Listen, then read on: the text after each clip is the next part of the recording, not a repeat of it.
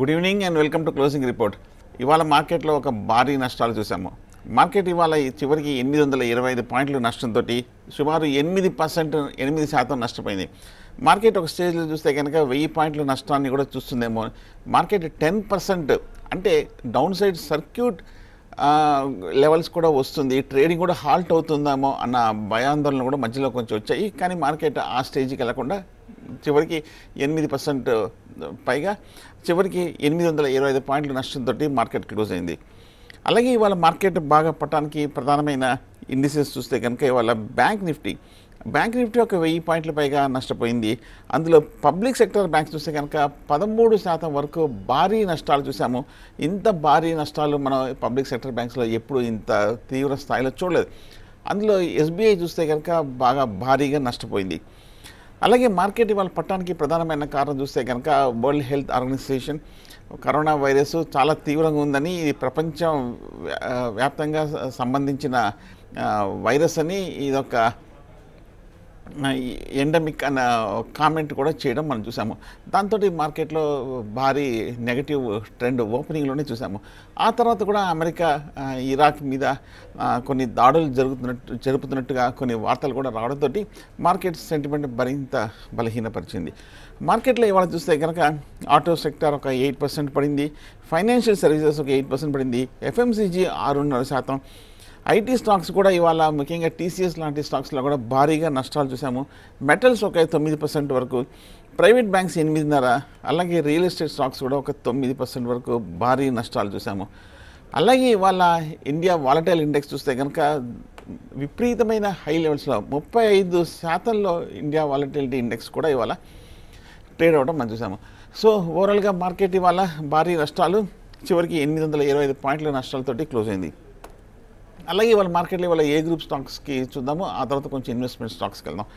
ఇవాళ ఏ గ్రూప్ స్టాక్స్లో చూస్తే కనుక ఒక్క గెయినర్ కూడా కనిపించలేదు.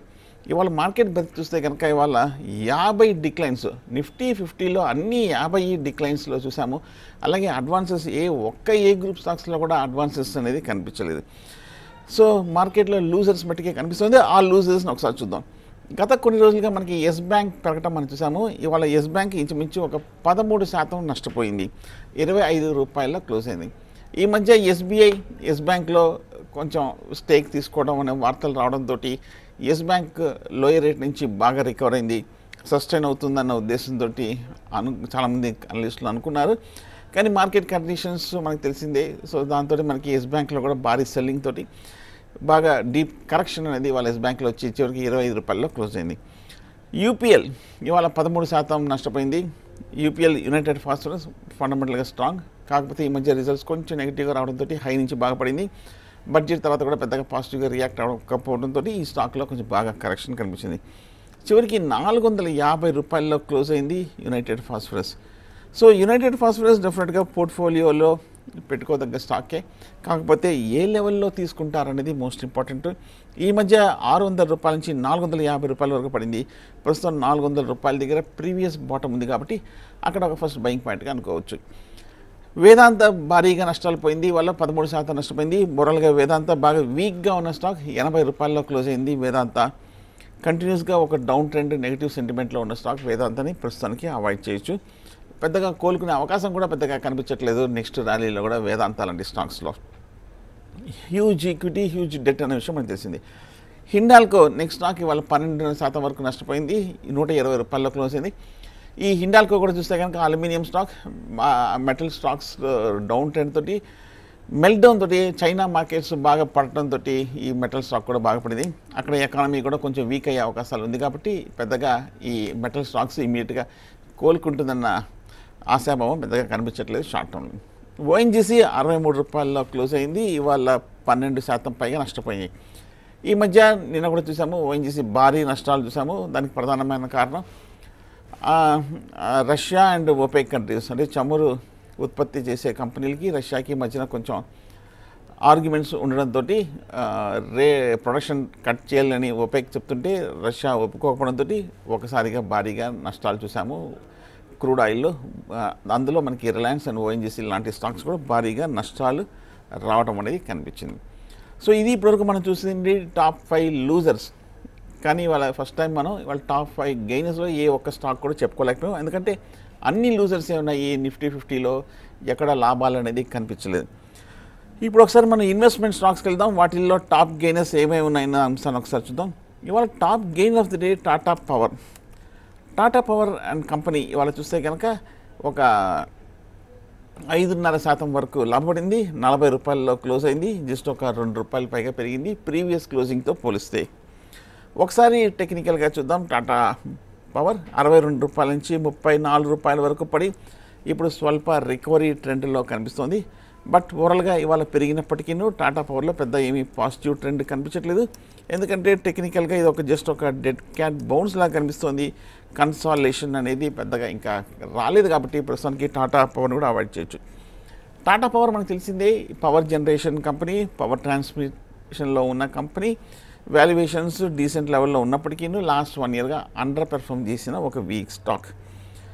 డీసెంట్ డివిడెంట్ ఇస్తున్న కంపెనీ కాకపోతే లాస్ట్ కపుల్ ఆఫ్ ఇయర్స్గా పెద్ద స్ట్రాంగ్ గ్రోత్ అనేది టాటా పవర్లో కనిపించలేదు.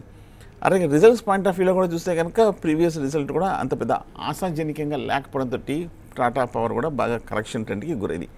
హ్యూజ్ ఈక్విటీ డెట్ కూడా ఉంది. సో కాబట్టి టాటా పవర్లో ప్రస్తుతానికి అవాయిడ్ చేయడం మంచిది.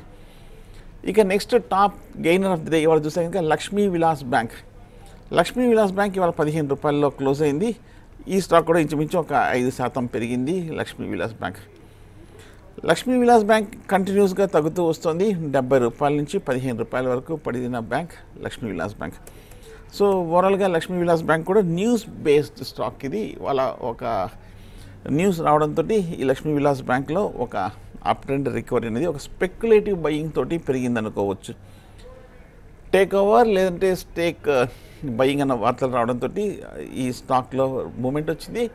ఓవరాల్గా మనకి గ్రోత్ చూస్తే కనుక లాస్ట్ కపుల్ ఆఫ్ ఇయర్స్గా గ్రోత్ అంత పాజిటివ్గా లేదు. ఎన్పిఐ ఇష్యూస్ కూడా అంత పాజిటివ్గా ఉన్నట్టు కనిపించట్లేదు. అలాగే రిజల్ట్స్ కూడా చూస్తే కనుక లక్ష్మీ విలాస్ బ్యాంక్లో పెద్ద పాజిటివ్గా లేదు. డిసప్పాయింటింగ్ రిజల్ట్స్ చూస్తున్నాము. ఈక్విటీ కూడా ఎక్కువ ఉంది. డెట్ ఇష్యూస్ కూడా కొంచెం ఉన్నట్టు కనిపిస్తోంది. సో కాబట్టి లక్ష్మీ విలాస్ బ్యాంక్ని అవాయిడ్ చేయ తగ్గ స్టాక్ నెక్స్ట్ స్టాక్ ఇవాళ పెరిగిన స్టాక్ చూస్తే శోభా డెవలపర్స్ ఇవాళ మూడు పాయింట్ ఏడు శాతం పెరిగింది ఈ real estate company Sobha Developers. Sobha Developers ఒకప్పుడు బుల్ మార్కెట్లో బాగా అవుట్ పెర్ఫామ్ చేసి ర్యాలీలో ఉన్న స్టాక్ కానీ ఈ మధ్య గత ఆరు నెలలుగా చూస్తే కనుక ఆరు వందల రూపాయల నుంచి రెండు వందల ఇరవై రూపాయల వరకు శోభా డెవలపర్స్ పడిపోయిన స్టాక్. ఈ ర్యాలీలో శోభా లిమిటెడ్ పెర్ఫామ్ చేయలేదు. వీక్గా ఒక under performing stock Sobha developers. కన్స్ట్రక్షన్లో రియల్ ఎస్టేట్లో హౌసింగ్ ప్రాజెక్ట్స్లో ఉన్న కంపెనీ శోభా డెవలపర్స్ వాల్యుయేషన్స్ బాగా తక్కువగా ఉన్నప్పటికీ అట్రాక్టివ్ బయింగ్ రావట్లేదు. ఓవరాల్గా చూస్తే కనుక రిటర్న్ ఆన్ ఈక్విటీ కొంచెం తక్కువగా కనిపిస్తోంది. అలాగే ఈ స్టాక్లో రిజల్ట్స్ కూడా చూస్తే కనుక ఈ మధ్యకాలంలో రిజల్ట్స్ కూడా కొంచెం ఫ్లాట్గానే ఉన్నట్టు కనిపిస్తోంది. ఈక్విటీ కూడా కొంచెం మరీ ఎక్కువ కాదు మరీ తక్కువ కాదు కొంచెం హైయర్ సైడ్ ఉంది. అలాగే లయబిలిటీస్ కూడా డెట్స్ కూడా ఉన్నట్టు కనిపిస్తుంది. శోభా డెవలపర్స్ కాబట్టి అవాయిడ్ చేయొచ్చు. అలాగే నెక్స్ట్ స్టాక్ చూస్తే ఇవాళ కేర్ రేటింగ్స్ ఇవాళ నాలుగు వందల పద్దెనిమిది రూపాయల్లో ఇవాళ ఒక శాతం పెరిగింది కేర్ రేటింగ్స్. కేర్ రేటింగ్స్ చూస్తే కనుక చాలా రోజుల తర్వాత కూడా ఈ స్టాక్లో ఒక అప్ ట్రెండ్లోకి వెళ్ళటం మనం చూస్తున్నాము. బట్ కానీ ఇవాళ ఉన్నది జస్ట్ ఒక నెగ్లిజిబుల్ అప్రిసియేషన్ అనుకోవచ్చు స్టాక్లో. వాల్యుయేషన్ చూస్తే కనుక బాగా తక్కువగానే ఉంది. సో ప్రస్తుతానికి కేర్ రేటింగ్స్ని అవాయిడ్ చేయొచ్చు. కేర్ రేటింగ్స్ చూస్తే కనుక ప్రస్తుతానికి వాల్యుయేషన్స్ తక్కువగా ఉన్నప్పటికీ ఇది ఒక రేటింగ్ ఏజెన్సీ ఫైనాన్షియల్ కంపెనీస్కి రేటింగ్స్ ప్రొవైడ్ చేస్తున్న కంపెనీ రిటర్న్ ఆన్ ఈక్విటీ డీసెంట్గా ఉంది. మంచి డివిడెంట్ కూడా ఇస్తున్న కంపెనీ కేర్ రేటింగ్స్ అలాగే రిజల్ట్స్ కూడా చూస్తే కనుక ఒక మోడెస్ట్గా కొంచెం ఫ్లాట్గా ఉన్నట్టు కనిపిస్తుంది. అలాగే టెక్నికల్గా చూస్తే కనుక ఈ స్టాక్ అండర్ పెర్ఫామ్ చేస్తూ హై నుంచి పడిన stock CARE Ratings CARE Ratings చూస్తే కనుక ఈక్విటీ కూడా పర్వాలేదు తక్కువగానే ఉంది. జీరో డెట్ కంపెనీ సో కాబట్టి మాత్రం కొంచెం కేర్ రేటింగ్స్ కనుక పాజిటివ్ డెవలప్మెంట్స్ ఏమైనా వస్తే అప్పుడు బై పొజిషన్ తీసుకోవచ్చు. ఇది జస్ట్ ఒక నోట్ చేసుకొని రికార్డులో పెట్టుకొని చూడొచ్చు. But as it is CARE Ratings avoid చేయడం మంచిది. నెక్స్ట్ స్టాక్ చూస్తే కనుక ఇవాళ పెరిగిన stock ITD Cementation ITD Cementation కూడా చూస్తే కనుక ఈ స్టాక్లో ఒక స్వల్ప రికవరీ వచ్చింది. బేసికల్గా ఇది ఒక కన్స్ట్రక్షన్ సంబంధించిన కంపెనీ కాకపోతే వాల్యుయేషన్స్ కొంచెం హయ్యర్ సైడ్లో ఉంది. ఈ స్టాక్ నూట నలభై రూపాయల నుంచి సగం అయిపోయి బిలో సిక్స్టీ రూపీస్కి రావడం మనం చూసాము ఐటీడీ సిమెంటేషన్. ఓవరాల్గా చూస్తే కనుక ఎన్పిఏ ఇష్యూస్ కూడా ఉన్నట్టు కనిపిస్తుంది. గ్రోత్ కూడా పెద్ద స్ట్రాంగ్గా కనిపించట్లేదు. అలాగే ఎన్టీ ఐటీడీ సిమెంటేషన్ రిజల్ట్స్ కూడా చూస్తే కనుక లాస్ట్ కపుల్ ఆఫ్ క్వార్టర్స్ పెద్ద ఆశాజనకంగా కనిపించట్లేదు. ఈక్విటీ తక్కువగా ఉంది కాకపోతే డెట్ కూడా ఉన్నట్టు కనిపిస్తుంది ఐటీడీ సిమెంటేషన్ సో ప్రస్తుతానికి ఐటీడీ సిమెంటేషన్ని కూడా అవాయిడ్ చేయొచ్చు. Next stock Himadri speciality chemicals ఒక ఆరు శాతం వరకు పెరిగింది. ఆ మధ్య bull market speciality chemicals season సెగ్మెంట్లో బాగా పెరిగిన స్టాక్ ప్రస్తుతానికి ఆ సెగ్మెంట్ అంత స్ట్రాంగ్గా కనిపించట్లేదు కాబట్టి హిమాద్రి స్పెషాలిటీని అవాయిడ్ చేయొచ్చు. Doctor Lal path labs decent company పదహారు వందల ముప్పై రెండు రూపాయల్లో క్లోజ్ అయింది. ఒక స్వల్ప రికవరీ అనేది వాళ్ళకి కనిపించింది బట్ ఓవరాల్గా డాక్టర్ లాల్పత్ ల్యాబ్స్ కూడా చూస్తే కనుక పాజిటివ్గానే ఉన్నప్పటికీ వాల్యుయేషన్ సైడ్ చూస్తే కనుక కొంచెం బాగా హయ్యర్ సైడ్ ఉన్నట్టు కనిపిస్తుంది.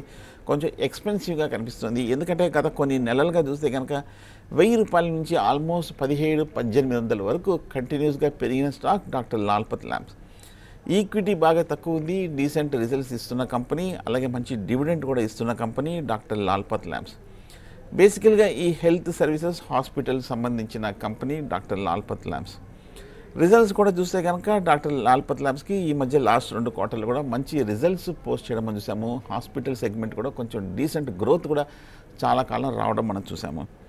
ఈక్విటీ చూస్తే కనుక పర్వాలేదు తక్కువగానే ఉంది zero debt company doctor Lal path labs కాకపోతే వాల్యుయేషన్స్ కొంచెం బాగా హైలో ఉంది కాబట్టి స్టాక్ కొంచెం ఎక్స్పెన్సివ్గా కనిపిస్తుంది. నెక్స్ట్ స్టాక్ ఇవాళ పెరిగిన స్టాక్ చూస్తే కనుక Johnson Controls so Johnson Controls Hitachi ఓవరాల్గా మనకి ఈ స్టాక్ చూస్తే కనుక ఎఫ్ఎంసీజీ వైట్ గూడ్స్ తయారు చేసే ఎయిర్ కండిషనర్ కంపెనీ రిఫ్రిజిరేటర్స్ తయారు చేసే కంపెనీ కాకపోతే వాల్యుయేషన్ చూస్తే కనుక హయ్యర్లో ఉంది.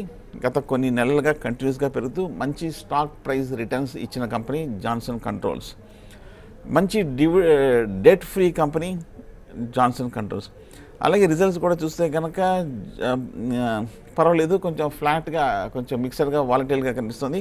బట్ డీసెంట్ రిజల్ట్స్ ఇస్తున్న కంపెనీ జాన్సన్ కంట్రోల్స్ ఈక్విటీ తక్కువగా ఉంది zero debt almost zero debt అనుకోవచ్చు. So decent valuations and financial parameters కూడా ఉన్న కంపెనీ జాన్సన్ కంట్రోల్స్ సో ఇది కాకపోతే ఆల్రెడీ బాగా పెరిగింది కాబట్టి కరెక్షన్ కూడా డ్యూ ఉంది కాబట్టి ప్రస్తుతానికి జాన్సన్ కంట్రోల్స్ని అవాయిడ్ చేయొచ్చు.